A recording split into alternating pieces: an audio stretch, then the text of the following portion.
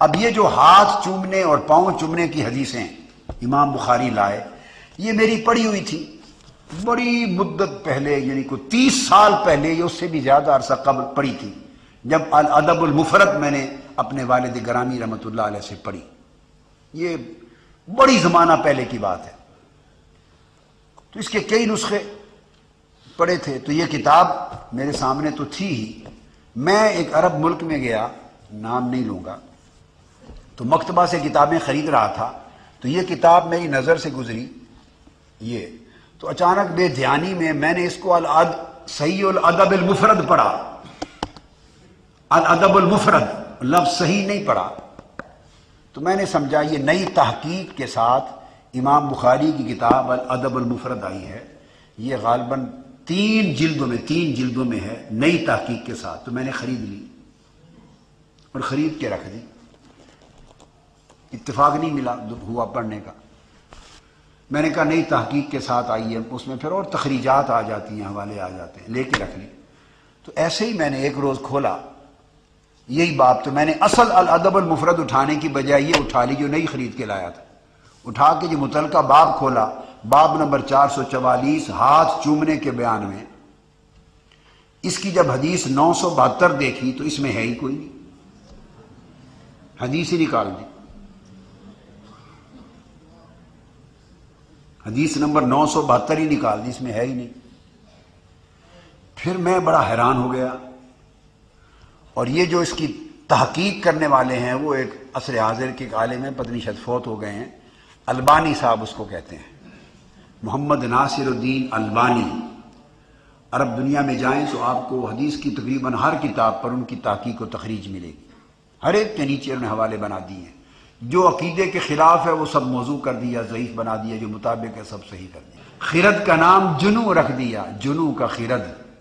जो चाहे आपको उसने करिश्मा साज करे। फिर मैंने आगे देखा तो आगे जो हदीसें आपको बताई हैं, हदीस नंबर नौ सौ चौहत्तर।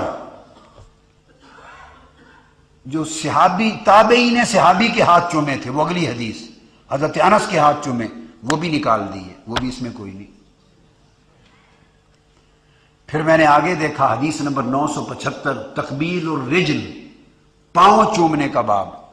वो सारा बाब ही उनवान ही निकाल दिया। वो बाब ही नहीं है, उनवान ही निकाल दिया। है उसमें जो हदीसें, वो दो लाए थे, हदीस नंबर नौ सौ पचहत्तर और नौ सौ छिहत्तर। दो हदीसें इमाम बुखारी, दोनों हदीसें निकाल दी। जब बाब ही निकाल दिया, उनवान ही निकाल दिया, दोनों हदीसें भी निकाल दी। अब हदीस नंबर, ये तो मैं सिर्फ़ एक मकाम बयान कर रहा हूँ। और मैंने जब गौर से देखा तो बाब नंबर इमाम बुखारी की अलदबल मुफरद में चार सौ चवालीस था हाथ चूमने का बाब। चार सौ? और ये तीसरी जिल्द है, और पहली जिल्द से जो जो खिलाफ, उनके अकीदे के खिलाफ था, वो बाब निकालते गए, बाब ही निकालते गए पूरे। निकालते निकालते तो जब ये उससे आगे एक बाब है पीछे, बेटी को चूमना। साहबजादी आए आका हसीद आलम फातिमा तो जहरा आती तो आका सलाम चूमते। बाब रजुल युकबिल इबन बाप बेटी को चूमे, प्यार करे। ये बाब नंबर चार सौ तिरतालीस है। Four forty three number, chapter number four forty three. तो वो निकालते निकालते अब बाब, उन्होंने ये बेटी को चूमने का बाब रखा। और इसका बाब नंबर तीन सौ उनानवे है। यानी यहाँ तक पहुँचते पहुँचते वो उनानवे, ग्यारह ये हो गए और तिरतालीस ऊपर हो गए। तिरतालीस और ग्यारह। चौवन बाब इस हदीस तक पहुँचते पहुँचते इमाम बुखारी की अलदबुल मुफरत में से चौवन चैप्टर निकाल चुके थे।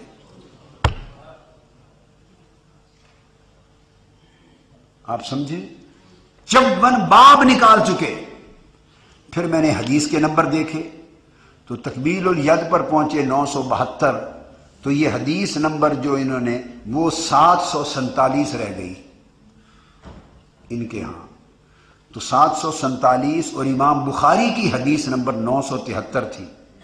तो कितनी हदीसें निकल चुकी हैं? तीसरी जल्द में इस मकाम तक पहुँचते पहुँचते सात सौ सैतालीस, आठ सौ सैतालीस नौ सौ सैतालीस, दो सौ और सैतालीस और तिहत्तर सतावन सतसठ और सतसठ। दो सौ तीस और चार निकाल दें, दो सौ छब्बीस। दो सौ छब्बीस हदीसें, ये जो मैंने आपको हदीसें पढ़ के सुनाई हैं, इस मुकाम तक पहुँचते पहुँचते इमाम बुखारी की और अदबुल मुफरद में से 226 हदीसें निकाल चुके हैं। ये बात आप मेरी समझे? हैं अब मैं आपको एंड बता दूँ इसका। ये अलबानी साहब हैं।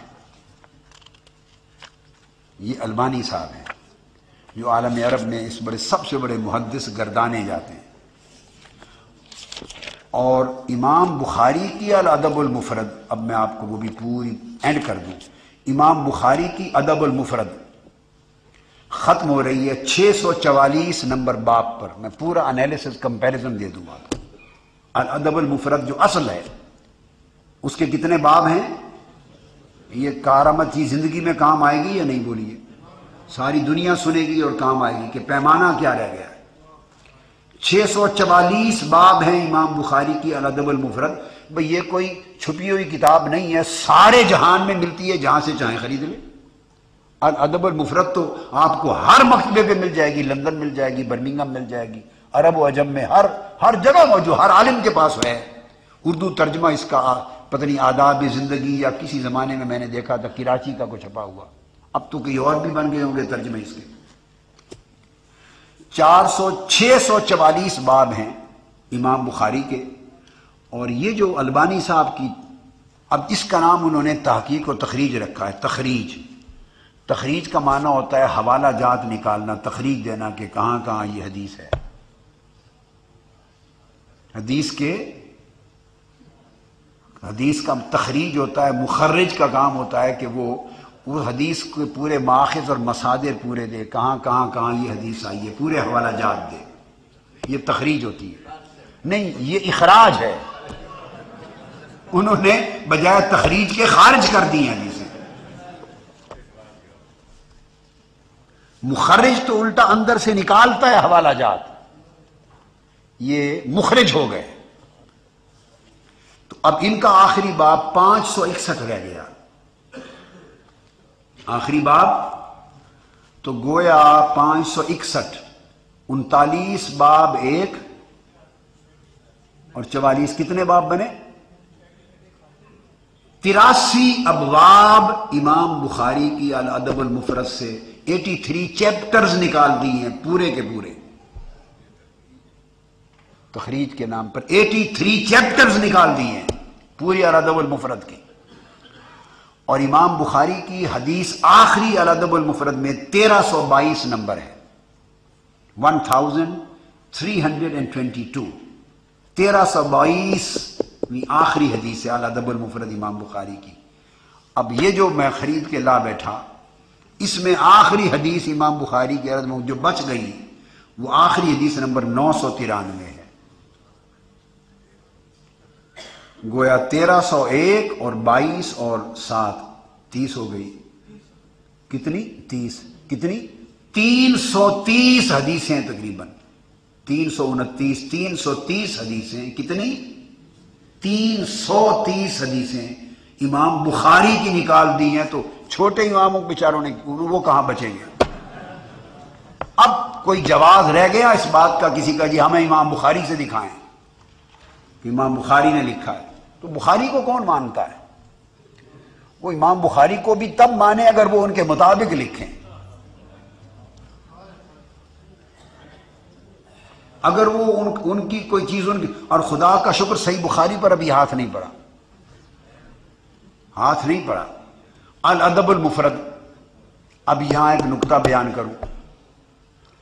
अब बहाना क्या मैं बुनियाद मैंने फिर गौर से मैं बहुत परेशान हुआ। देर तक तो मेरी समझ में नहीं आया कि ये बदयांती की इंतहा है। इंतहा है। अगर ये काम हदीस की किताबों से होना शुरू हो गया, ये काम कुतुब हदीस के साथ तो सौ दो सौ सा अल हफीज। तो अब उन्होंने, मैं फिर परेशान होकर मैंने टो लगाई कि ये माजरा इमाम बुखारी के साथ जो हाथ किया, इमाम बुखारी पे भी हाथ डाल दिया, उनको भी नहीं छोड़ा।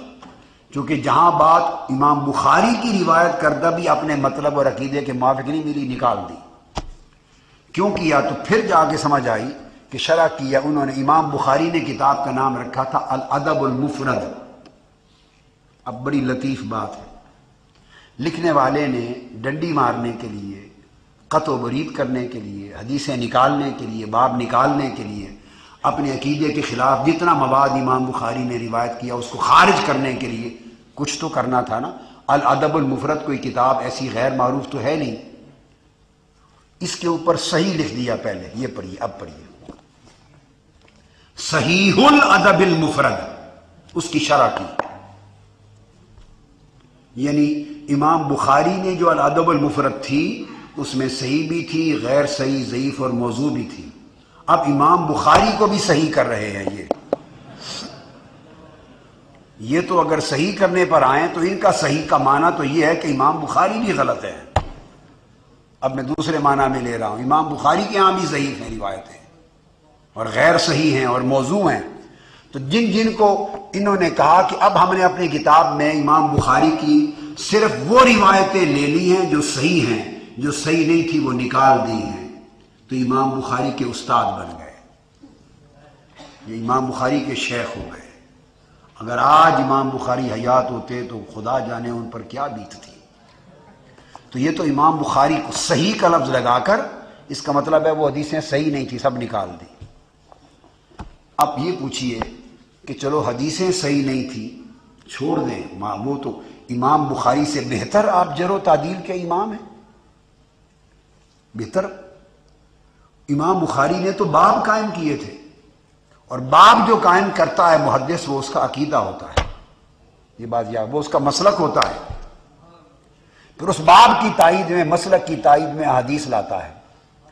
तो तुमने तो सनदें ज़यीफ करके, माजल्ला मौजू करके इमाम बुखारी पे जुल्म किया, काट डाला, निकाल दिया। मगर उन्होंने तो अबवाब बनाए थे बताने के लिए कि यह अकीदा सही है। आपने वो बाप भी निकाल दिए। कितने बाप निकाले? तिरासी बाब निकाल दिए। गोया इमाम बुखारी ने जो अकायद बयान किए थे, उसकी तिरासी शाखें काट डाली।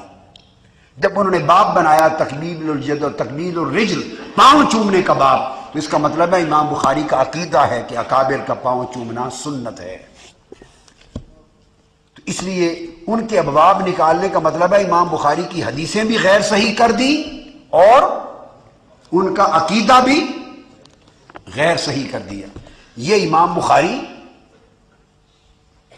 ये इमाम मुस्लिम और अबू दाऊद है सब, और ये इमाम बुखारी और इमाम मुस्लिम दोनों के शेख, इमाम मुस्लिम और बुखारी दोनों के शेख इमाम इबन अबी शैबा।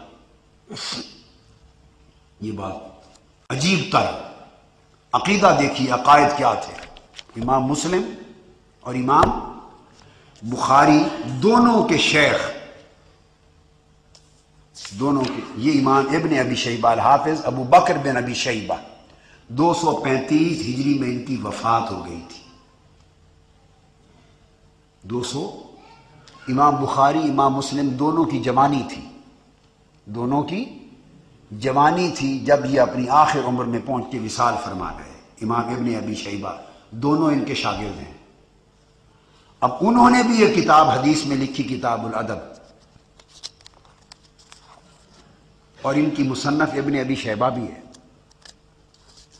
किताबुल अदब। ये दीन और अदब सिखाने के लिए कि दीन का अदब क्या है। ये किताबें आइमा ने लिखी, ये मुस्तकिल मौजू होता था। हर हदीस की किताब में बुखारी, मुस्लिम, अबू दाऊद, तिरमजी, नसाई, इबन माजा, किताबुल अदब हर किताब में है। और अलग मुस्तकिल किताबें भी लिखी गई, जैसे इमाम बुखारी ने लिखी और इमाम इबन अबी शहबा ने लिखी। इन्होंने भी एक किताब अदब लिखी पूरी। अब मैं अहमियत अकीदे के एतबार से बताना चाहता हूँ कि अपनी किताब किताब अदब की इमाम इबन अबी शहबा ने पहला बाब जो बनाया दीन का अदब सिखाने के लिए। बड़ी अहम बात है।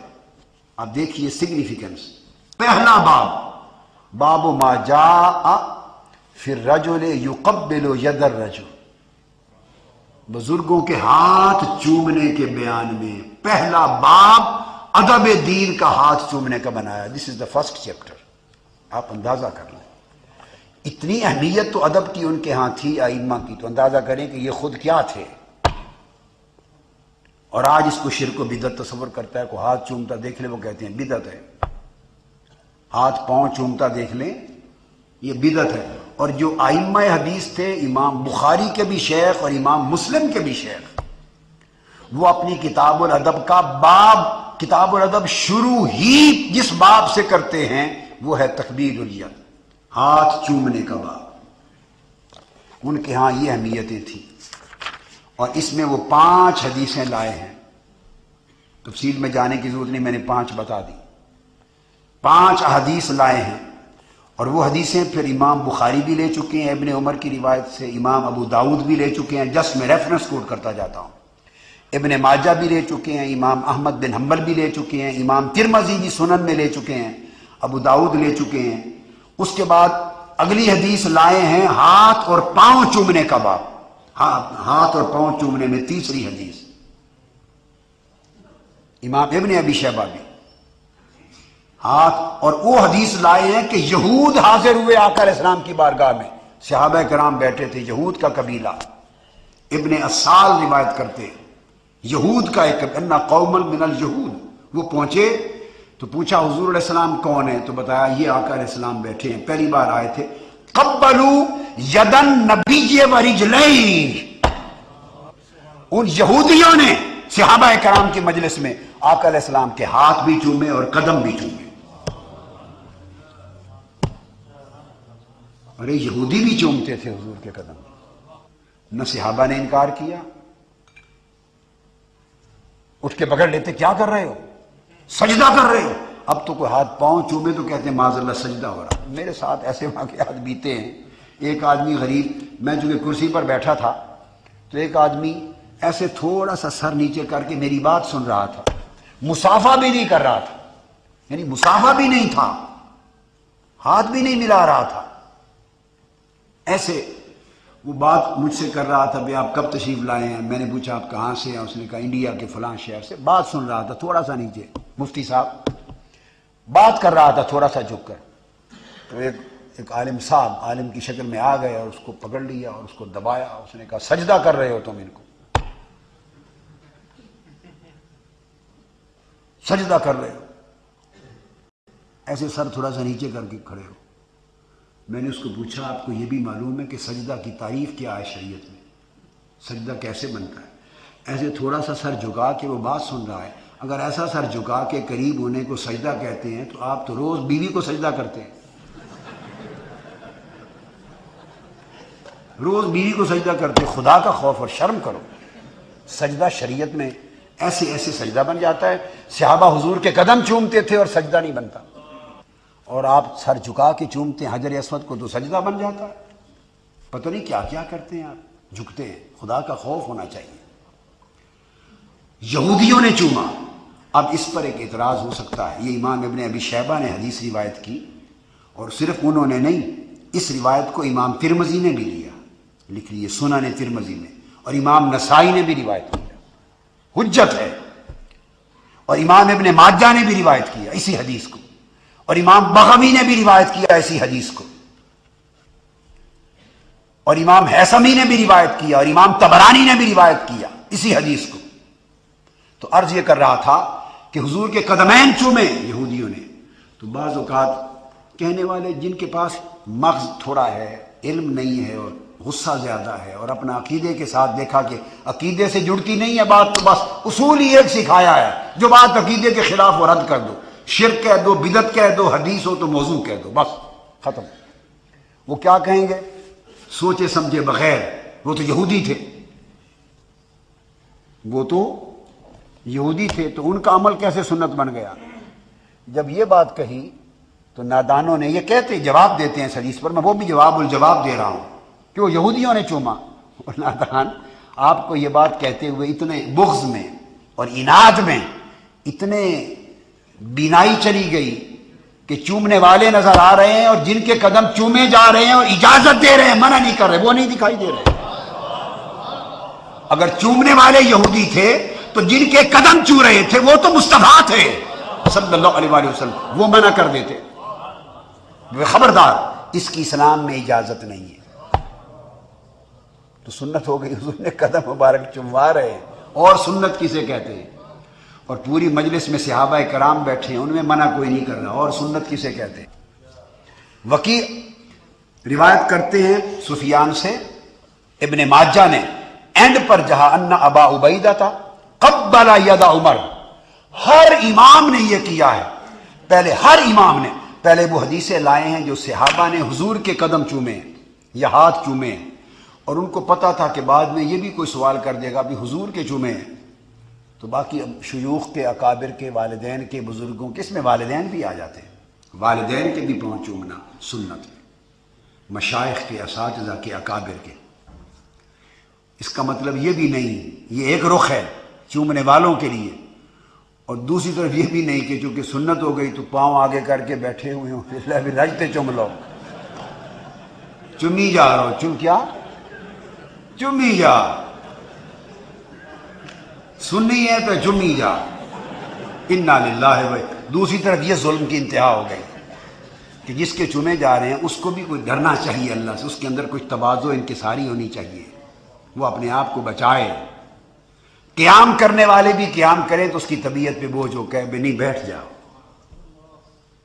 उसके लिए ये अदब, बड़े के लिए ये अदब है कि वो बचाए अपने आप को। छोटे के लिए ये अदब कि वो चूमे। और क्याम करे। ये दीन के अदब है। तो हज़रत अबा उबैदा ने हज़रत उमर फारूक रज़ी अल्लाह Abu Ubaidah bin Jarrah governor थे, ये उनकी रिवायत है।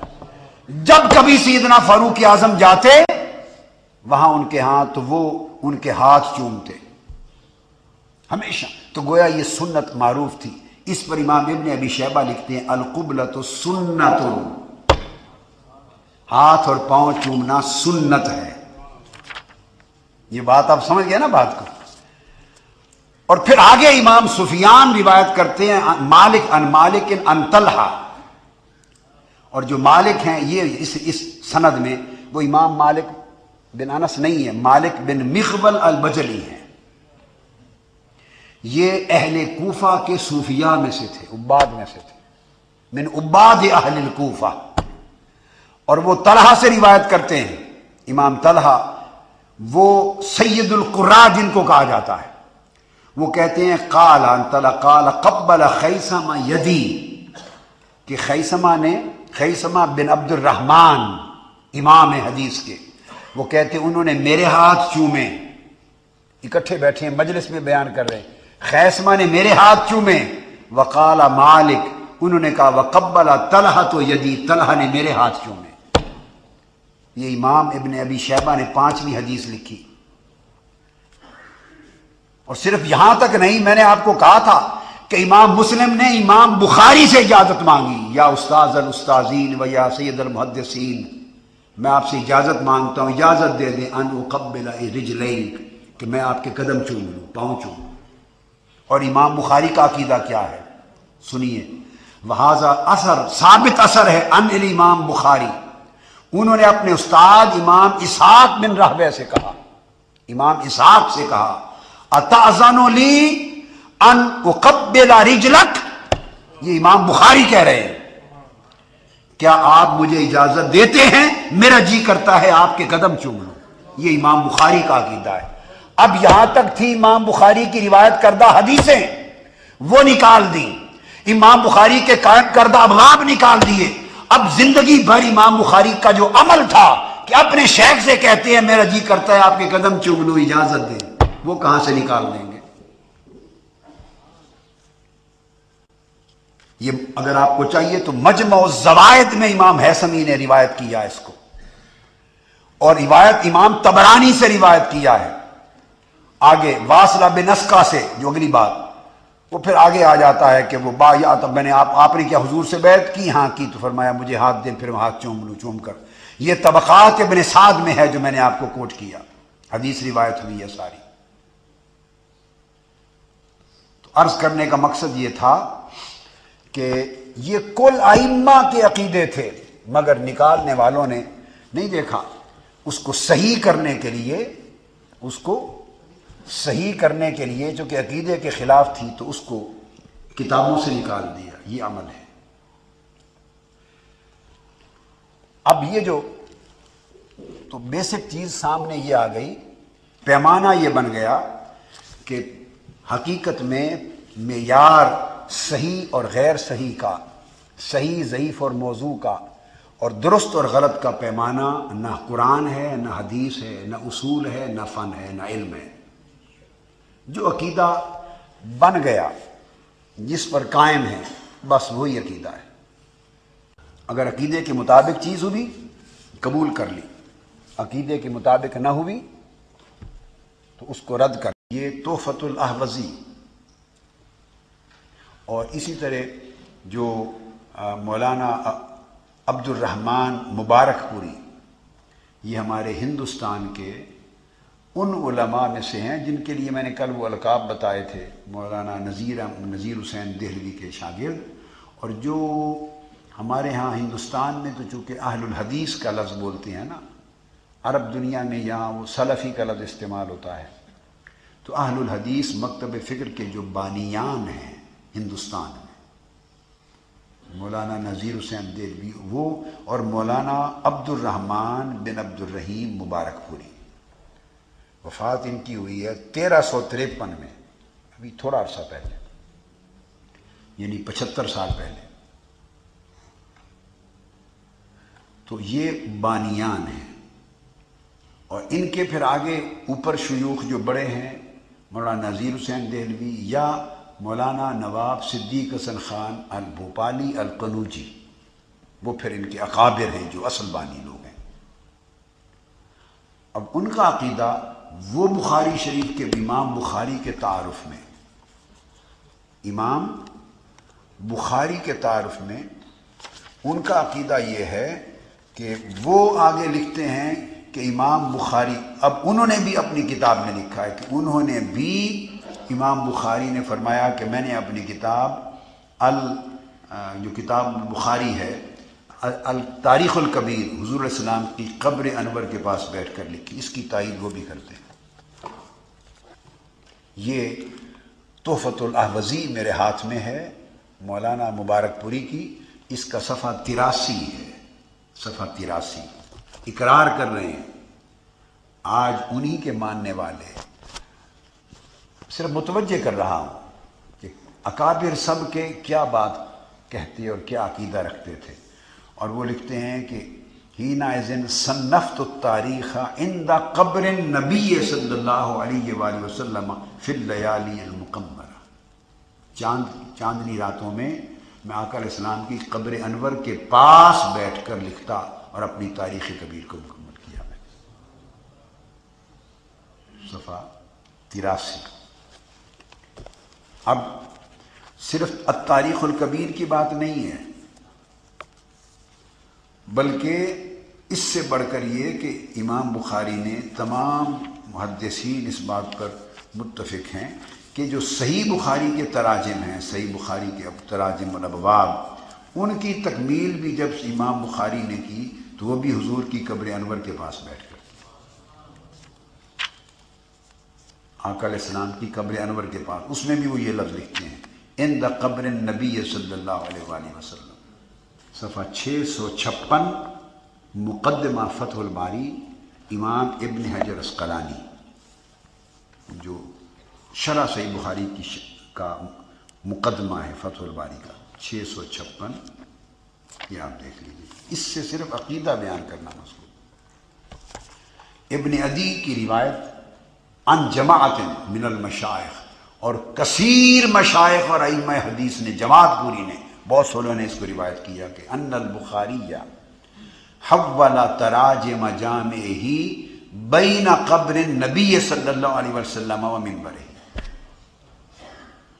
और दूसरे मुकाम पर दूसरी रिवायतों से है कि वो उसमें अल्फाज आया इन द कब्र नबी सल्लल्लाहु अलैहि वसल्लम। हजूर सलाम की कब्र अनवर और मिंबर के दरमियान दूसरे मुकाम पर है कि हजूर की कब्र अनवर के पास बैठकर मैंने तराजम जो अबवाब के हैं, अपनी तराजम अबवाब बुखारी के, उनको मुकम्मल किया। और अपने जिस्म कपड़ों में उम्र भर इमाम बुखारी हजूर इस्लाम के मुँह मुबारक रखते थे। आकर इस्लाम के मुँह मुबारक रखते थे। ये भी इमाम इबन हजर असकलानी ने मुकदमा फतुलबारी में लिखा है। सफ़ा छः सौ पैंतालीस, मुकदमा फतुलबारी सफ़ा छः सौ पैंतालीस। अपने लिबास में। अब क्यों रखते थे? इसका सिवाय इसके कोई और जवाब है कि उनका अकीदा तवसल और तबर्रुक का था। और यह आकल इस्लाम के विसाल के बाद की बात है। मुँह मुबारक से तवसल करना, तबर्रुक करना, बरकतें हासिल करना। तो ये अकीदे फिर बदल गए। और इतने बदले कि सिर्फ़ इसी चूँकि बात बुखारी और मुस्लिम की चल पड़ी तो मैं ये अल्लामा मुबारक पूरी का चूँकि किताब उठाई मैंने, मैं उसमें से चंद रेफरेंसेस कोट कर दूँ, बड़े अहम हैं। और ये सलफ़ी यानी अहलुल हदीस मकतब फ़िक्र के बानी अकाबिर उलमा और आइमा में से। आम आलिम नहीं है। और ये नामवर किताब है। तमाम उलमा, तिरमजी शरीफ की ये शरह है और तमाम उलमा इस पर वो तकिया करते हैं। तो ये ख़जाना इल्म है उनका ये तो फतुल अहवजी। उसके अंदर वो सही बुखारी से तबसल करने के, की फ़सल लिख रहे हैं, पूरा बयान कर रहे हैं, तंबीह के तौर पर। अब तो आलम यह है कि अकीदा ये बन गया कि हजूर इस्लाम के विसाल के बाद हजूर इस्लाम से भी तवसल वसीला नहीं किया जा सकता। माजल्ला तखरल्ला लेकिन ये सलफ़ी और आहलुल हदीस मकतब फ़िक्र के इमाम बानियान साहिब तोहफतुलहवजी वो लिख रहे हैं तंबी सफ़ा सेवेंटी नाइन उनासी पर तम्बी लिख रहे हैं। और हवाला दे के कह रहे हैं, काल शेख अबू मोहम्मद अब्दुल्ला बिन अबी हमज़ा। पूरा बयान रिवायत देकर और वो कहते हैं कि तमाम सादात मशाइ अकाबिर, आरिफीन, उलमा के ज़रिए उनकी तस्दीक से ये बात पहुँची है। इन सही अल बुखारी। मा फ़ी शिद्दत इल्ला फुरजत। अब वो सही बुखारी का वसीला बयान कर रहे हैं कि सही बुखारी किसी भी परेशानी में अगर उसकी, इसकी तिलावत पड़ी जाए तो परेशानी इसके वसीले से दूर हो जाती है। और अगर कोई मुसाफिर इसको ले के सवारी में शरीक हो जाए, समंदर में, दरिया में तो वो गर्क होने से निजात पा जाती है। ये एक। और यहाँ एक बड़ा दिलचस्प लतीफ़ा है फिर आगे, मैं मुकम्मल कर लूँ उनके रेफरेंसेस फिर वो बताता हूँ। इसी किताब में लतीफ़ा। नंबर एक। उसके बाद नंबर दो लिखते हैं, हवाला। किन का इमाम अलहाफिज इबन कसीर का। हाफिज इबन? और वो इन्होंने भी लिखा। इमाम कुस्तलानी ने भी अलामा ऐनी ने भी, यानी बाकी आइमा ने भी, इन अलामा कुस्तलानी और अलामा अस्कलानी, बाकियों ने भी लिखा। हाफिज इबन कसीर का हवाला। वो क्या लिखते हैं? ये मैं तोहफ़तुल से दे रहा हूँ। अल्लामा मुबारक पूरी साहब का। वो फरमाते हैं कि हाफिज़ इबन कसीर का का कौल और रिवायत है कि किताब बुखारी सही युस तस्का बेरात गुमान। सही बुखारी की किताब की शान ये है कि इसके वसीले से अगर ये पढ़ी जाए, इसकी किरात के वसीले से बारिश हो जाती। है अब एक तरफ़ ये ख्याल करना, अकीदा रखना कि हुजूर के विसाल के बाद हुजूर इस्लाम का वसीला ही जायज़ नहीं है और कोई वसीले से ना बारिश होगी, ना मुसीबतें टलेंगी। दूसरी तरफ़, उस अकीदे के बानी इमाम, वो शरह हदीस में मुकदमा भी ये लिख रहे हैं। बुखारी के मुकाम और मनसब का तस्करा करते हुए कि इसके वसीले से बादल आ जाते हैं और बारिश बरसती है। और वह अजमा अला कबूल ही और इस बात की कबूलियत पर इजमा है। उसके बाद तीसरा रेफरेंस देते हैं, अल्लामा मुबारकपुरी वकाल शेख अब्दुल हक अलमुहदसद्दलवी अब आज के बहुत से जो इनके, मैं एक बड़ी ख़ास बात की तरफ़ मुतवजह कर रहा हूँ कि कितना तगैर वक्त के साथ आ गया है। और पिछली बात के तसलसल में कि यानी मैार क्या रह गया? दुरुस्त और ना दुरुस्त का, सही और गलत का, अकीदे को परखने का कोई स्टैंडर्ड कोई क्राइटेरियन कोई प्रिंसिपल मैार क्या रह गया? सिर्फ़ अपनी तबीयत में जो आ गया, बस वो दुरुस्त है।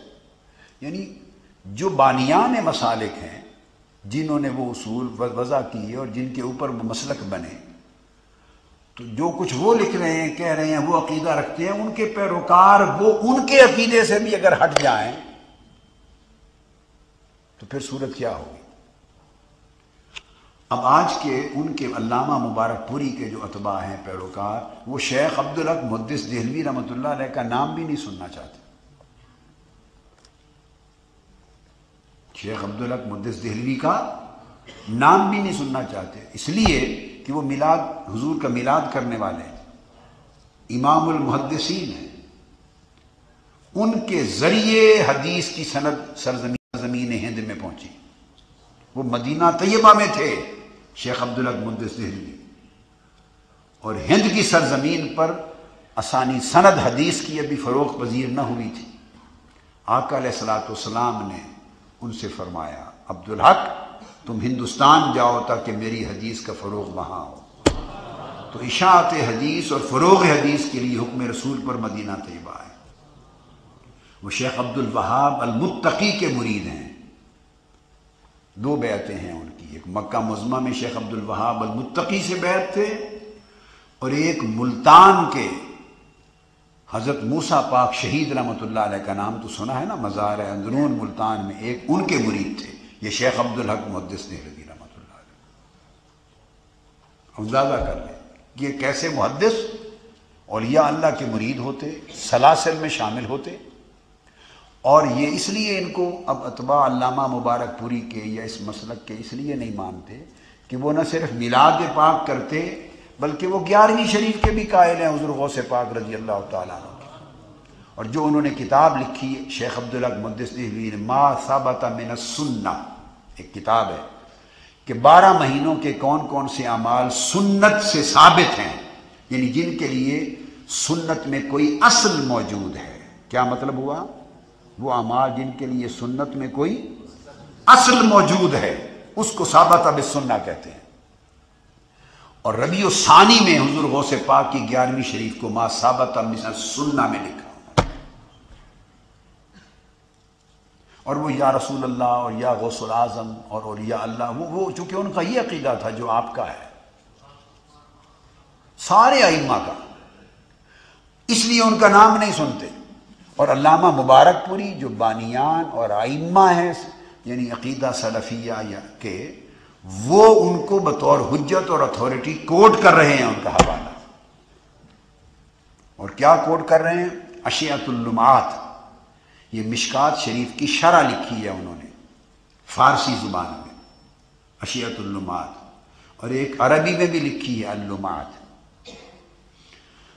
और वो कहते हैं कि कारा, वो बयान कर रहे हैं अशियतुल्लुमात में लिखा है कि कसीर मिनल मशाइफ वल उलमा उसिकात अब वो बयान करते हैं कि कसीर मशाइख मुहदसिन ने और सिका उलमा ने, अल उलमा उसिकात ये आम कोई ख़तीब, या आम जो हमारे यहाँ आज का जो ज़माना आ गया, आज तो जो जब जोश में आता है, जिसका ज़िक्र करे तो वो तो सिका तो गरीब शह ही कोई नहीं है, सिका जो लफ्ज़। सिक्का क्या लफ्ज़ है? सिक्का कहने से तो मैंने तो अर्ज़ किया था कल आपको छोटे मोटे लकब जो पहलों के लिए बड़े होते थे, उनके नाम सुन के भी डरते थे, भाई, हम इस काबिल कहाँ? तो आजकल तो उन लकबों पे तो नज़र ही नहीं पड़ती उन अलकाब पर, वो तो ऊपर से शुरू होते हैं। मगर किसी को अलमा उसिकात कहना मुहदस का कहना बहुत बड़ा माना रखता है। कहते हैं कि उलमाए सिकात और कसीर मशाइ ने यह बात पढ़ी क्या? करा सही अल बुखारी। सही बुखारी की तिलावत की, इसकी किरात की लहसूल मुरादात। मुरादों को हासिल करने के लिए। व किफ़ायत मुहिमात और अपनी मुहिमात परेशानियों को दूर करने के लिए वह कज़ा हाजात, और अपनी हाजतों की कज़ा को पूरा करने के लिए वह दफ इल बनियात। ये लफ्ज हैं। ये लामा मुबारकपुरी है। दफ बनियात। इनके लिए बुखारी शरीफ को पढ़ा और कशफिल कुरबात। अब ये सारी मुश्किल कुशाई आ गई, बाकी क्या रह गया? सही बुखारी से अपनी कुर्बतों को दूर करने के लिए वसेहत अमराज व शिफा मरदा। मरीजों की शिफा याबी के लिए सेहत याबी के लिए व इंदल मदाए के व शदाए मुश्किलात को दूर करने के लिए, बलियात को दूर करने के लिए, तकलीफों को दूर करने के लिए, हाजतों को पूरा करने के लिए मुहिमात हल करने के लिए, मुरादात पूरी करने के लिए। सही बुखारी तो मुश्किल कुशा बन गई। और मौला अली के लिए तवसल ही है। इसी तवसल के माना में हज़रत अली को मुश्किल कुशा कह दिया तो शिरक हो गया। ये हजूर इस्लाम की हदीस हैं। तो सैदना अली शेर खुदा भी तो हजूर की हदीसें हैं। ही बयान मदीनतुल इल्म के बाब ही है ना। बाब मदीनतुल इल्म ही है। वो सारा निज़ाम, फयुजात का मंबा, सरचश्मा सबब एक ही है। ये हदीस नबवी की बरकत तो तवसलात हैं। तो उनके पास भी वही कुछ हैं। जो भी साहिब तवसल हैं।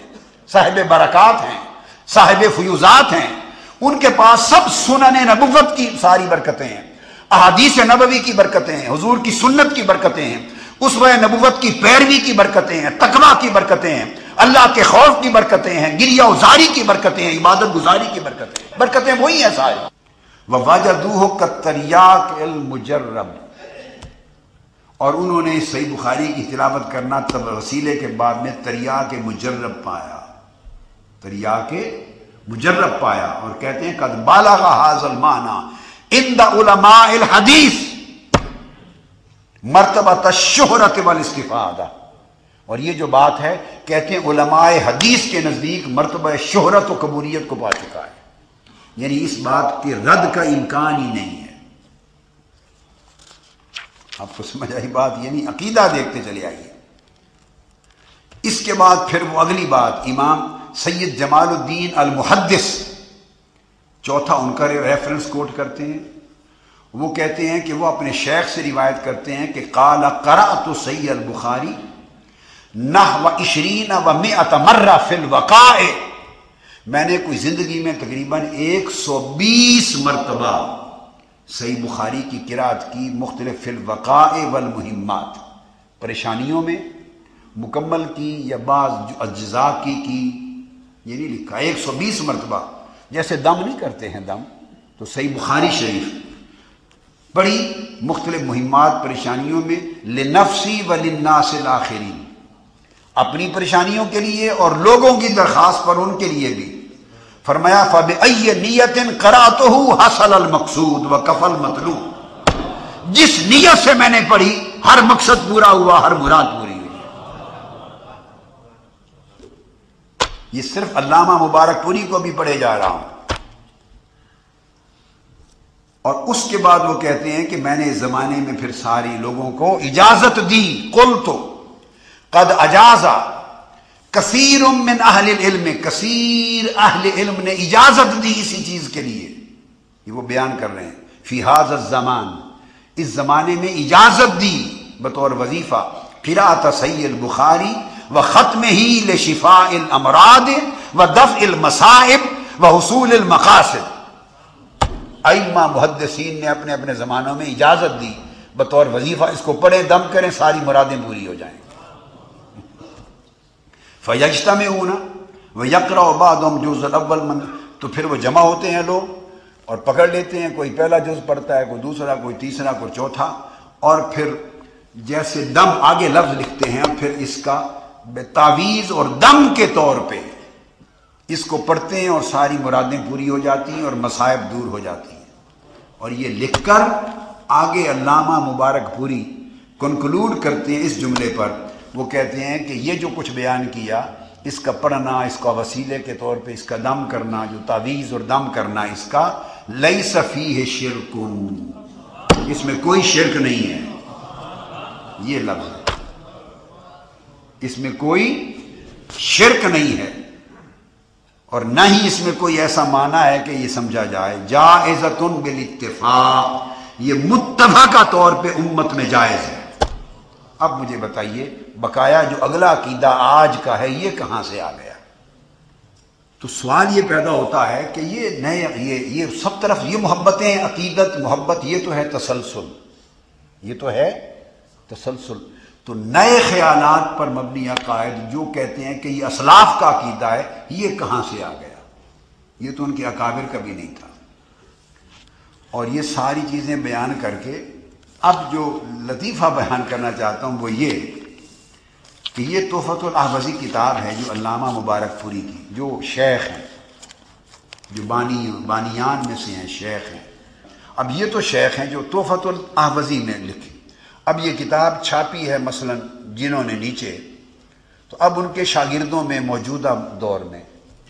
जब ये किताब अब छपी है, ये सन 2001 में का नुस्खा मेरे हाथ में है 2001 ईस्वी का 1421 हिजरी का। अब जब ये छपी तो आपको पता है कि उसके बाद नीचे तखरीज करते हैं लोग, ऊपर किताब चलती है तो नीचे उसका हाशिया लिखते हैं। अब उसी अकीदे के एक मौजूदा आलिम, अब मैं फ़र्क बता रहा हूँ अब लतीफ़ा क्या? ऊपर जो शेख हैं, अल्लामा मुबारक पूरी, वो तो ये बयान करते चले जा रहे हैं। अब 2001 में, आज से छः साल पहले जब ये किताब छपी तो किताब वालों ने नीचे तहकीक व तखरीज भी करवाते हैं। खर्राजा आदि सहू और उसके बाद वो नीचे हाशिया भी लिखते हैं, शिफा और गुलल के नाम से। हाशिया वगैरह भी लिख दिया, जब आगे नीचे लिखते हैं मुकदमा। अब ऊपर शेख जो बानी है वो सब तवसल की बरकतें लिख रहे हैं।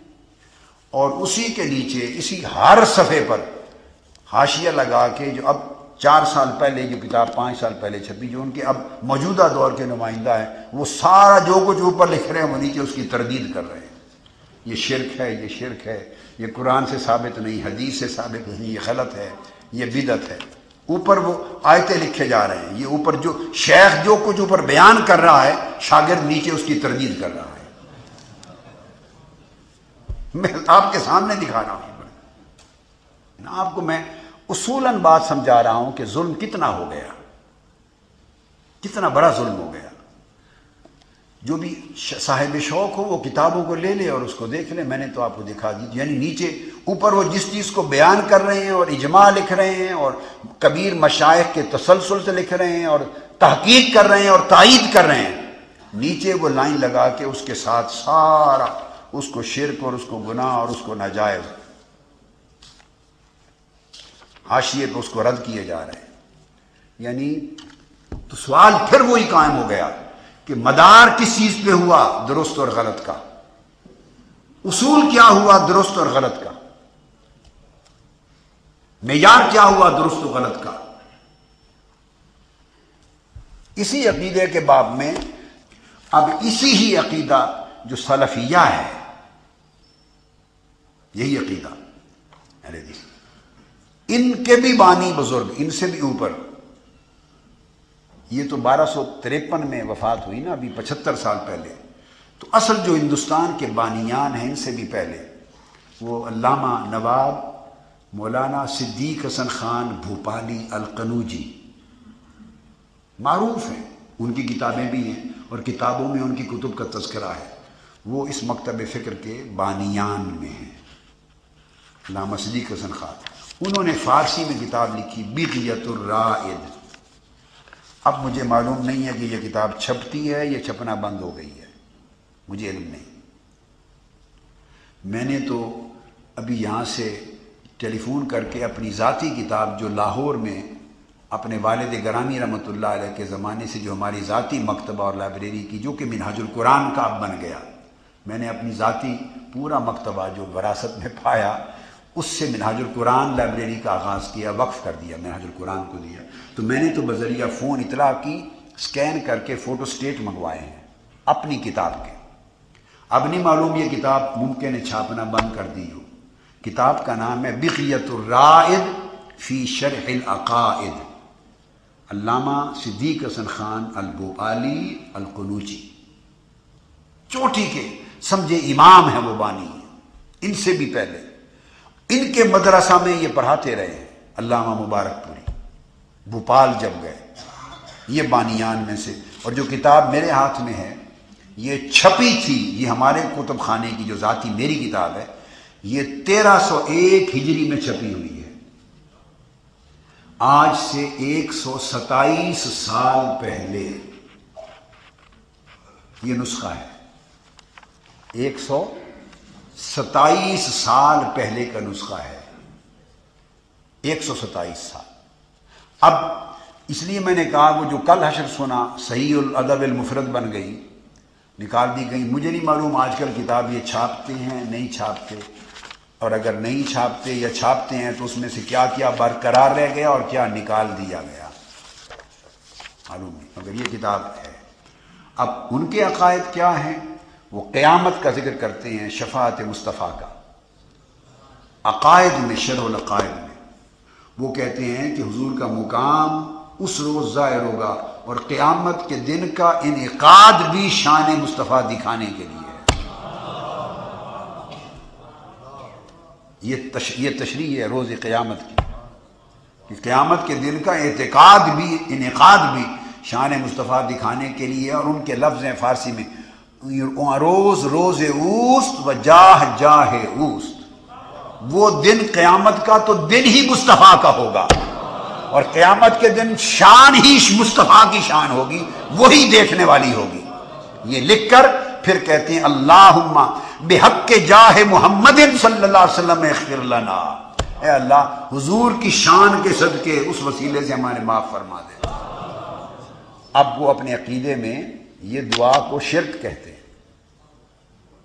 कि आज हुजूर के वसीले से मफफरत मांगना कहते हैं। ज़िंदगी में बाज़ लोग कहते हैं, ज़िंदगी में तक जायज़ था, वफात के बाद जायज़ नहीं है।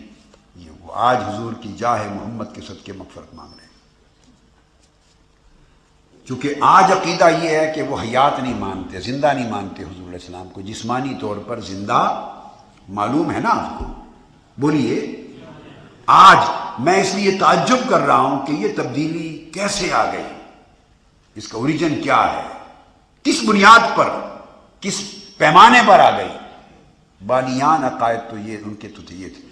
अब आगे, ये सफ़ा छियासठ था और अड़सठ, अब सफ़ा सेवेंटी नाइन उनासी पर। हयात एम, चूँकि अकायद की किताब है उनकी, हयात अम्बिया पर लिखते हैं कि अम्बिया अमवात न बूथ अम्बिया मुर्दा नहीं होते ज़िंदा मान वो ज़िंदा होते हैं। और वो अकीदा लिखते हैं कि एक बार मौत के वक्त उनकी रूह सिर्फ़ एक बार जिस्म से निकाली जाती है और उसके फौरी बाद रूह बदन में वापस लौटा दी जाती है। और वो जिस्म और रूह के साथ कब्रों में ज़िंदा होते हैं। अब ये तो है हमारा अकीदा। इनके जो आज पैरोकार हैं, उनका अकीदा नहीं है वो तो समझते हैं माजल्ला अस्तफिर ख़त्म हो गए, मट्टी में कुछ न रहा, जिसम में भी ज़िंदा नहीं, सिर्फ़ रूह ही रूह जहाँ है, मगर वो तो टोटली मौत के कायल है, ममात के। इन्होंने रद्द कर दी कि रूह भी जिसम में वापस लौटा दी जाती और हयात होते हैं। यजीद की बात करते हैं, अकीदा लिखते हैं, यजीद पलीद के कुफर और लान का बयान करते हैं। उसको काफिर और मुस्तक के लानत कहते हैं। आज उनके पैरोकार यजीद का दिफा करते फिरते हैं। और उस यजीद लईन काफिर के को अमीर उलमिन भी कुछ कहते हैं।